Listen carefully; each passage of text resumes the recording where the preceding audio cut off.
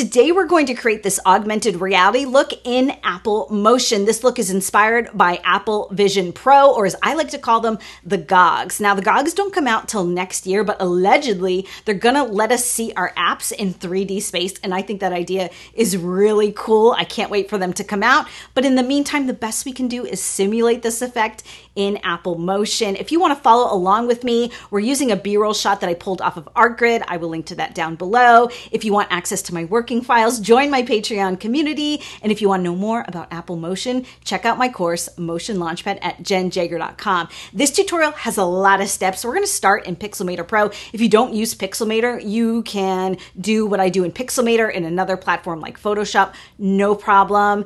And we're also going to be working in 3D space. We're going to be doing some motion tracking. It's a lot of steps. Let's just dive right into it.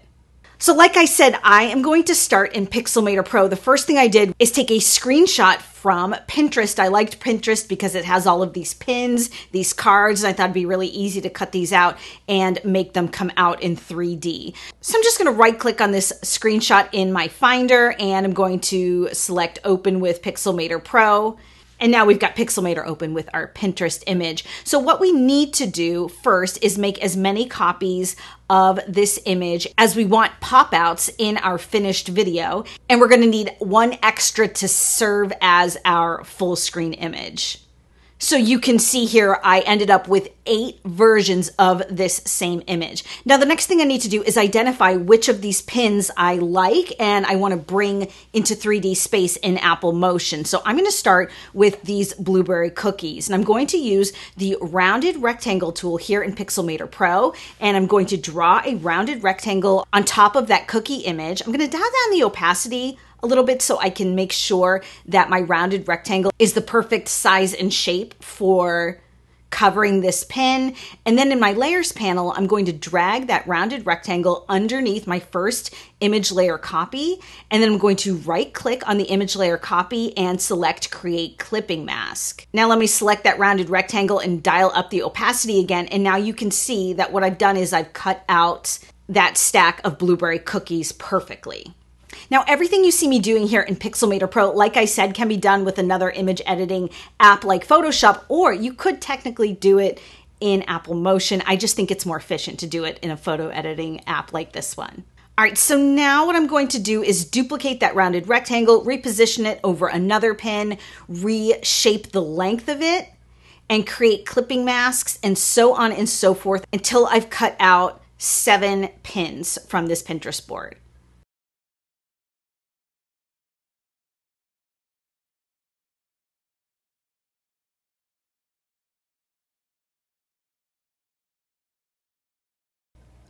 Now the next step, guys, is super important. You need to merge your layers. So what I'm going to do is select an image layer and its associated rounded rectangle shape, and I'm going to right click and hit merge.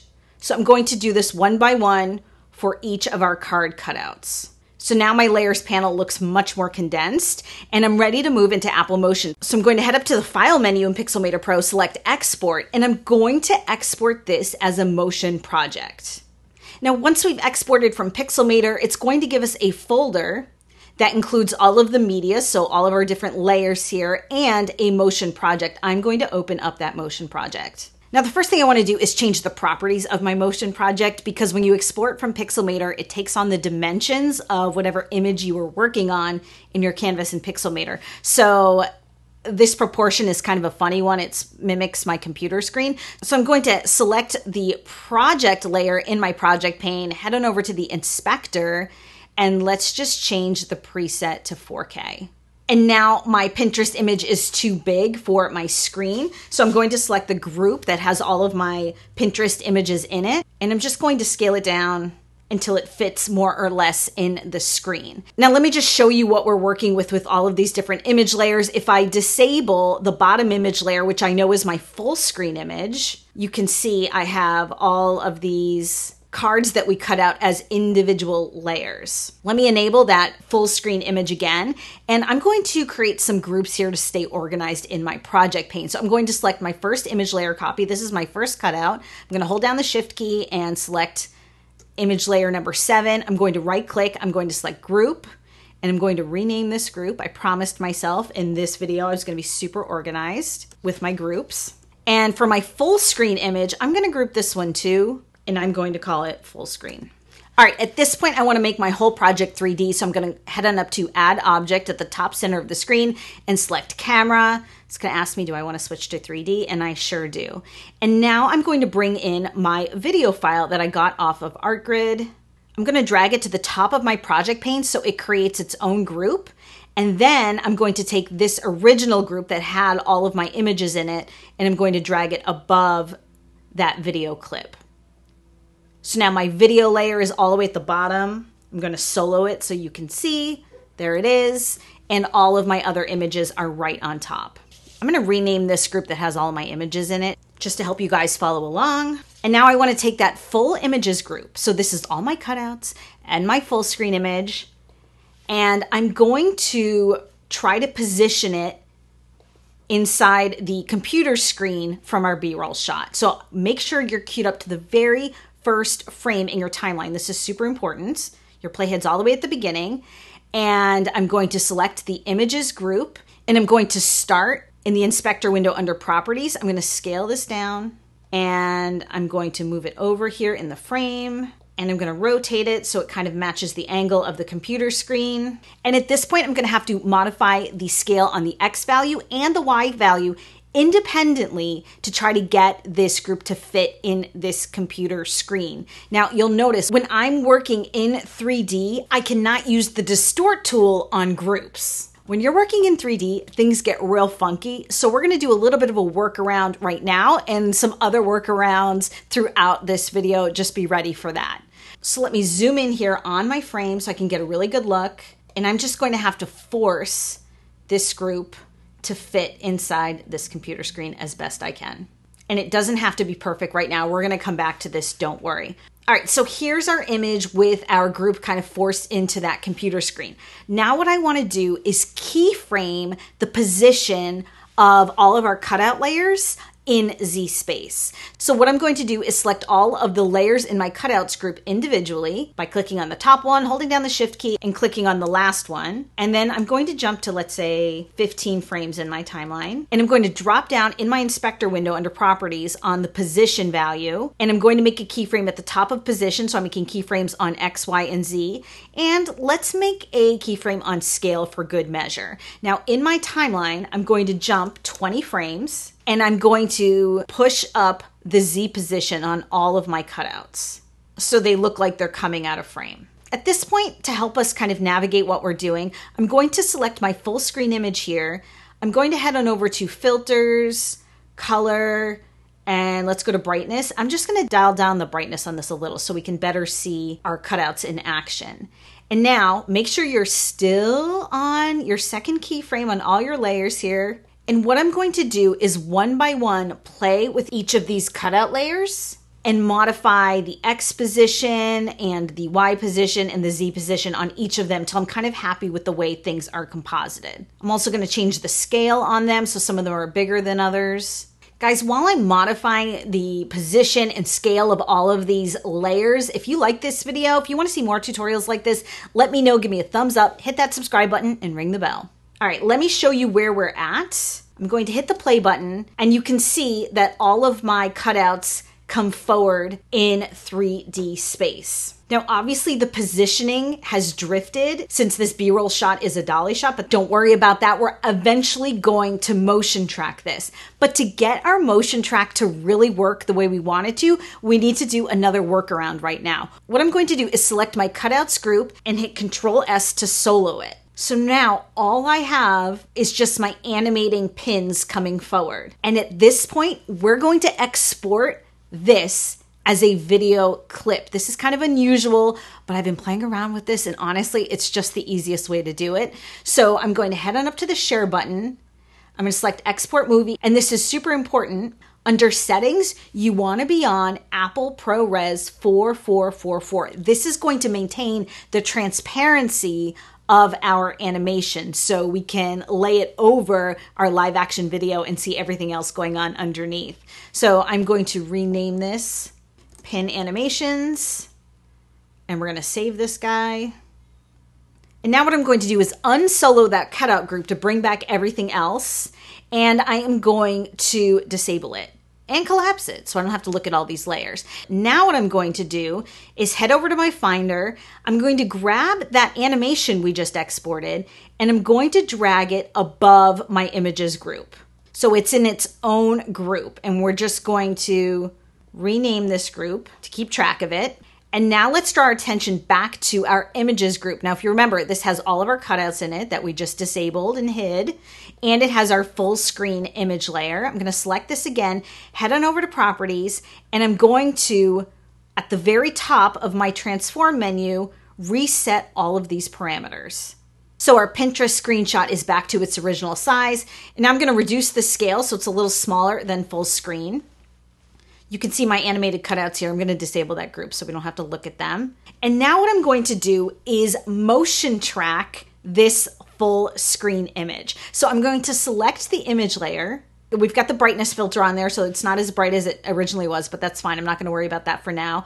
I'm going to cue up my playhead to the beginning of my timeline, and I'm going to head over to behaviors, motion tracking, and match move.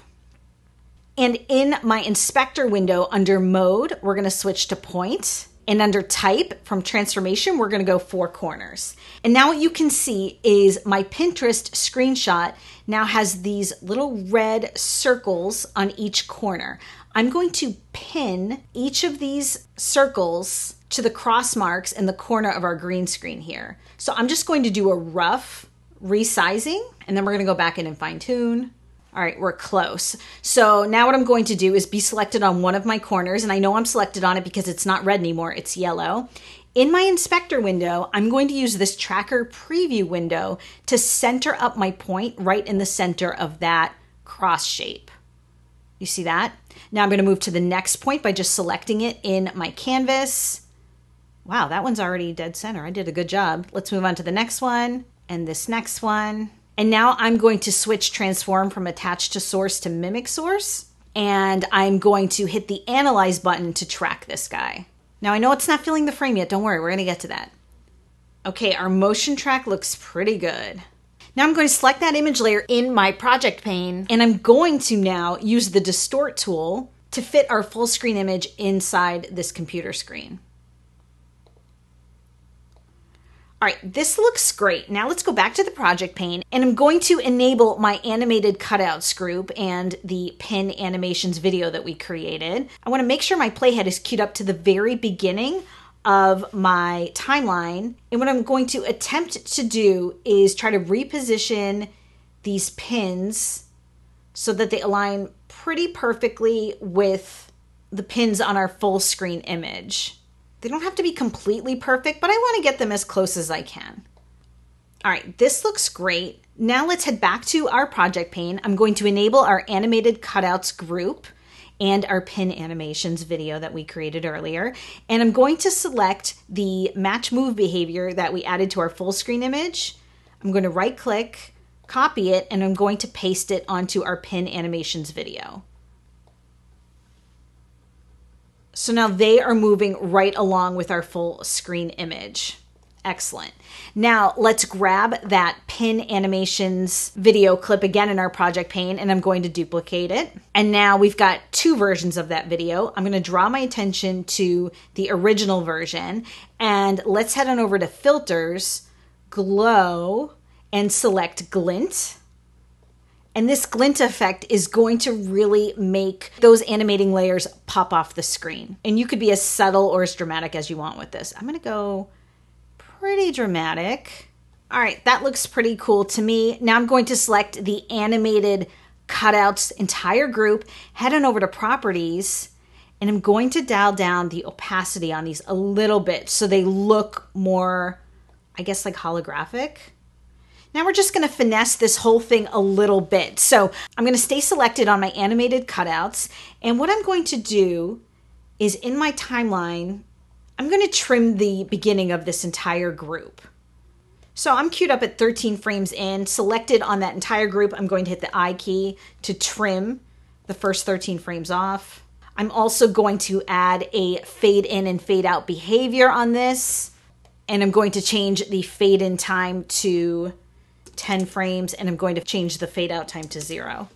Now let's cube our playhead to the very beginning of the timeline again and let's draw our attention to this full screen. So I had dialed down the brightness a little bit on this so we could really see how we were working. For now, I'm going to dial up that brightness a little bit on this frame so it better matches sort of the lighting in the room and looks a little more natural. I'm also going to head on over to filters and I'm going to add a very subtle blur to this so it's not so sharp looking. Now let's add some keyframes to these effects as well. So let's jump about 15 frames in and add a keyframe on the brightness and on the amount on our blur. And then let's jump another 20 frames. And I'm going to dial down the brightness very little. It's just going to help our cutouts pop off a little bit more. And I'm just going to dial up that blur just a little. All right, guys, that is our augmented reality effect in Apple Motion. If you like this video, let me know. Give me that thumbs up. If you think Apple should send me, like, I don't know, a prototype of the Gogs, let's start a petition down in the comments. I really want to try them. I'm super excited about it. Thank you so much for hanging out. Here's some other videos for you. I'll see you again.